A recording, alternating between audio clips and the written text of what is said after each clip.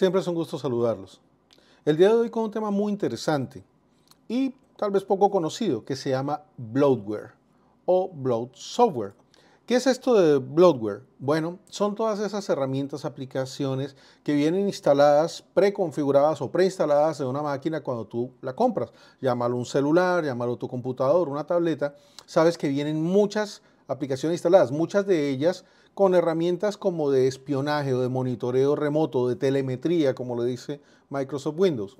Entonces, muchas de estas herramientas lo que hacen es bajar el performance de la máquina y realmente no las necesitamos. Entonces vienen temas de, por ejemplo, del fabricante de la tarjeta de red, del fabricante de la tarjeta de video, etc. Todo ese software que realmente nos sobra y que lo que hace es espiarnos o bajarnos el performance de la máquina y generarnos peso, pues se le llama bloatware, bloat software o bloatware. Como ves, pues aplicaciones que no usamos y que podemos remover, incluyendo también pues todo ese software que no queremos que nos monitoree. Entonces el día de hoy vamos a hablar de una herramienta que nos permite eliminar fácil y rápidamente esa información. La herramienta que vamos a mirar se llama Win11 Debloat o Win11 Debloat. Es una herramienta que fue, eh, está siendo actualizada permanentemente y que te permite escoger específicamente qué quieres quitar y qué quieres dejar y te permite configurar tu Windows 11 de una forma mucho más óptima. De nuevo, les digo algo que siempre repito. Obviamente no me puedo hacer responsable por el funcionamiento de esta herramienta. Mi recomendación para ustedes es que monten una máquina virtual de Windows 11 y corran esta herramienta en la máquina virtual, vean cómo funciona, la prueben, estén tranquilos de que nada se vaya a dañar y ahí sí, si quieren, apliquen esta herramienta a su máquina física. Pero primero pruébenla porque puede fallar algo. Importante que le des una mirada a lo que hace la herramienta si quieren. Aquí podemos ver el PS1, como ves, siendo PS1, esto corre en PowerShell. Esto es algo creado en PowerShell. Entonces, pues bueno, aquí ves todos los parámetros que crea. Mira, por ejemplo, ejecución por defecto, remover de aplicaciones de dispositivo, de developer, de hecho, deshabilitar, deshabilitar el copilot, por ejemplo, deshabilitar el recall. Lo hace automáticamente esta herramienta. Recordemos que el recall, eh, bueno, hay un recall que Microsoft estaba publicitando que era una herramienta que permitía tomar pantallazos de lo que tú ibas haciendo y luego con inteligencia artificial tú podías ver qué era lo que habías hecho anteriormente y tener ese recall, ¿no? Como ese recuerdo. Pero pues eso generó mucha controversia porque podían espiarte, etc. Entonces Microsoft decidió hacer cambios. Este video no tiene como objetivo hablar de recall, pero bueno, ahí tienes unos parámetros que puedes quitar de recall y pues acá está la herramienta, puedes mirar lo que hace el código para que estés tranquilo de que de pronto no te va a instalar algo raro, que no te va a montar de pronto un malware o algo así. Entonces tú puedes ver aquí en el, en el windows1 pues lo que hace la aplicación. Puedes revisar el código fuente. Entonces, ¿qué tenemos que hacer para poderlo instalar? No me voy a ir a mirar el detalle del código fuente ahora mismo, realmente no, es el objetivo del video, te voy a mostrar la herramienta y ya ustedes lo revisan. Si tienen alguna pregunta específica con lo que hace el código, pues me cuentan en los comentarios. El Windows Devload lo podemos instalar de distintas maneras. La más sencilla de todas, como te comento, esto es un PowerShell, entonces tú puedes utilizar este comando. Copias este comando y mira, él va a hacer una descarga de tipo REST de la página https raw github center content rafael windows load del ps1 del get.ps1 lo va a ejecutar el get.ps1 le puedes dar una mirada aquí lo que hace el get.ps1 de nuevo, la ventaja es que tienes todo y pues bueno, ahí ves que corre absolutamente las, digamos, los parámetros iniciales de la máquina eh, o de la herramienta en realidad. Va a ser un invoke web request. El IRM es esto, un invoke request de GitHub, del devload, va a buscar el master.zip y va a crear una va a montar en temporal un archivo temp.zip, el win11 devload temp.zip. Luego entonces eh, genera unas pruebas de la ruta y bueno, ahí ves, hace la descompresión y todo lo demás. Tú puedes revisar en el detalle. La ventaja enorme de estos códigos es que vienen en fuente, así que puedes estar revisando qué es lo que hace. No confíes a ciegas en nada de lo que descargues, más porque lo vas a hacer en tu máquina en un futuro, en tu máquina de producción, en tu máquina definitiva. Por eso la recomendación, pruébenlo en una virtual. Siempre primero probar en una virtual. Bueno, entonces miren, yo voy a copiar esto. Y nos dicen aquí que abramos una, una terminal de PowerShell como administradores. Entonces yo me voy aquí a mi Windows 11, al botón de inicio, escribo PowerShell. Y aquí en Windows PowerShell, como quiero la terminal, no el ICE, le doy clic derecho, ejecutar como administrador. Y pues me va a abrir una ventana de terminal, una terminal de PowerShell. Ahí va a estar. De pronto ustedes no ven esto muy grande, entonces yo voy a cambiar un poco las propiedades para que esto se vea un poco mejor, ¿verdad? Entonces el tamaño de la letra lo voy a poner como en 28, ¿ok? Ahí ustedes ven mejor. Y pegamos el comando que nos colocó en el GitHub el creador de la herramienta. Entonces le vamos a dar Enter y la herramienta comienza a correr, va a descargar, mira, eso la descarga, está haciendo la descarga del Win 11 Debloat. También puede correr ciertas cosas en Windows 10, pero pues les estoy mostrando Windows 11 porque asumo que la mayoría ya está usando Windows 11. Estamos tratando de hacer las cosas lo más actualizadas posible. Entonces, pues bueno, allí va corriendo.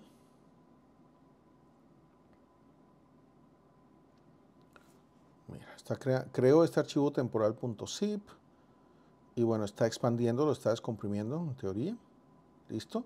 Y te abre una nueva terminal, te lo dice de hecho dentro del GitHub, donde va a mostrarte las distintas opciones. Entonces, mira, tienes la opción de aplicar las configuraciones por defecto o el modo customizado, tú escoges o puedes modificar los scripts que vas a correr, puedes hacerlo en modo de remover aplicaciones solamente, seleccionar y remover las aplicaciones sin hacer otros cambios. Yo voy a entrar a modo 2. ¿vale? Modo 2, donde podemos controlarlo todo. Entonces le podemos decir, mire, N, no remueva ninguna aplicación o solamente remueva la selección por defecto de Bloodware o remueva la selección por defecto de las aplicaciones de Bloodware, como también el calendario y el mail. Las aplicaciones las puedes quitar si no las quieres. También las aplicaciones de juegos, etcétera. O yo puedo seleccionar, que es lo que yo le recomendaría, seleccionar qué aplicaciones remover y qué mantener. Entonces sería la opción 3 en este caso. Enter y nos trae una pantalla donde tenemos las opciones, nos muestra todas, ¿vale? Pero tú puedes decirle solamente muéstrame lo que yo tengo, pero mira todo lo que trae disponible para que tú lo quites. Pero yo le voy a decir solamente muéstrame lo que yo tengo instalado, como para tener total claridad, porque hay cosas que no trae tu máquina. Entonces, esta es una máquina virtual donde yo lo estoy haciendo que monté por defecto. Simplemente la descargué de Microsoft y la estamos ejecutando. Entonces, mira, se toma un momento cargando todas las aplicaciones que tienes allí. Esto está bien, a mí me dio este error, yo le dije, ok, no pasa nada. Hay algunas aplicaciones que no va a mostrar. Tú puedes probar las distintas opciones, ¿no? Tomas un snapshot de la máquina virtual, y pues corre la herramienta en distintas formas para que luego ya sepas cuál es la que más se acomoda a tus necesidades. Entonces, miren, tengo estas herramientas instaladas, Bing News, Bing, Weather, eh, los to-dos de Microsoft, Office Hub, yo no quiero nada de eso, Windows Feedback Hub, Windows Maps, nada de eso me sirve, la verdad. Zoom, video de Zoom.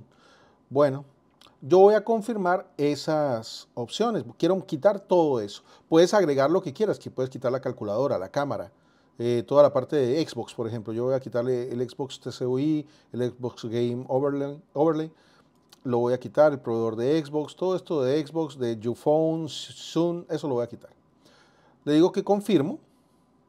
Listo. Nos pregunta, ¿quiere deshabilitar Xbox y la parte de grabar la pantalla de Xbox? Le voy a decir que sí. Y que detenga todos los pop-ups de Xbox. Eso me lo van a agradecer mucho los jugadores. La verdad es muy cansón. Le voy a decir que sí. Eh, remover todas las aplicaciones pinadas en el menú de inicio. Para este usuario nada más o para todos los usuarios y los nuevos que vengan. Entonces, le voy a decir que los quite para todo el mundo. Dos deshabilitar la telemetría, los diagnósticos, la actividad, el historial de actividades, el lanzar aplicaciones em, de publicidad dirigida, etcétera. Sí, quíteme todo eso. Deshabilitar tips, trucos, sugerencias en el inicio, notificaciones, en la, también en la pantalla de bloqueo le voy a decir que sí, que me quite todo esto. Deshabilitar y remover las búsquedas de Bing, la inteligencia artificial de Bing y Cortana Ese no necesito quitarlo, pero ya es tu decisión. Ese no le voy a decir que lo quite. Deshabilitar Copilot, le voy a decir que sí, que me quite el Copilot. Deshabilitar los snapshots de recall. ¿Recuerdan lo que se hablaba? Les hablaba que recall toma snapshots de tu pantalla. No corren todas las, todas las arquitecturas, etcétera, pero bueno, yo le voy a decir que sí, que me quite recall. Restaurar el menú contextual de Windows 10. La verdad, a mí me gusta el menú contextual de Windows 10, no me gusta el de Windows 11, porque eso, los, los iconos de copiar, pegar, eh, yo prefiero lo, tradicional. Es tu decisión. Quiere hacer, em, quiere hacer cambios en la barra de tareas y servicios relacionados, le voy a decir que sí. Alinear los botones al lado izquierdo, le voy a decir que sí. Por ejemplo, ustedes van a ver el cambio en la arquitectura. Listo. Eh, opciones, esconder el icono de búsqueda, no, mostrar el icono de búsqueda en la barra, sí, sí, ahí está. Voy a decirle que me muestre el, campo de búsqueda. Le voy a decir 4. Show Search Icon de Taskbar, sí le voy a decir 4. Ocultar el botón de mm, vista de tareas, le voy a decir que no deshabilitar los widgets de servicio y esconder los iconos del taskbar, le voy a decir que sí. Quiere hacer los cambios al explorador, le voy a decir al File Explorer, le voy a decir que sí, que me haga cambios en el Explorer, que me muestre los archivos ocultos, los folders, los drives, le voy a decir que sí, que me los muestre. Que muestre las extensiones de archivos de tipo conocido, sí, sobre todo si vamos a hacer análisis de malware, esto es muy útil hacerlo. Mostrar, que te muestre todas las extensiones de los archivos conocidos, porque pues lo necesitas conocer. Esconder la sección de galería del File Explorer, le voy a decir que no. Eh, ocultar drives duplicados en el explorador, así que vas a mostrarlo solamente dentro del PC. No, le voy a decir que no. Listo. ¿Quieres deshabilitar cualquier opción del menú de contexto? No, no quiero deshabilitarlas. Ahora tendríamos que darle Enter para confirmar todas las opciones que le dimos. Enter. Control C para finalizar sin hacer cambios. Entonces, mira, ahí está removiendo Clipchamp. Va a remover 22 aplicaciones. Se puede tomar un momento. Mira, ahí va, está haciendo, está removiendo distintas herramientas de Microsoft. Me voy a quedar aquí, si ustedes quieren, adelantan el video. Pero pues, ustedes ven que está trabajando, está quitando lo del clima, el Microsoft Bing Weather, el Get Started. El Microsoft Office Hub. Entonces, como ves, va opción por opción por opción, removiendo todo lo que le dijimos que quitara. Está quitando la colección de solitario, sticky notes. Como les decía, ustedes pueden probar las distintas opciones para decidir pues, cuál es la mejor customización, la mejor configuración que quieres para tu máquina, porque de pronto no quieres quitar todo lo que yo quité, solamente quieres quitar algunas cosas. Lo puedes correr varias veces e ir seleccionando en cada oportunidad, pues, qué quieres quitar, ¿no? Entonces, tú decides cómo correrlo. Lo de Zoom, que era de lo último. Zoom era el reproductor MP3 de Microsoft. No duró mucho. Obviamente, el iPod desplazó al Zoom de manera casi que inmediata.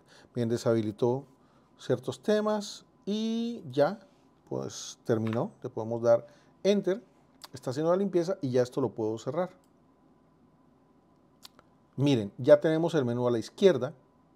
Si por ejemplo, bueno, yo voy a cerrar el, navegador, podemos abrir el explorador, por ejemplo. Vamos a ver que todos los archivos están allí, incluso los ocultos nos los va a mostrar. Mira, está haciendo algunos ajustes todavía. Entonces tenemos DiskPC, por ejemplo, el C. Mira, ahí están incluso archivos ocultos o directorios ocultos, allí están. Eh, tenemos clic derecho.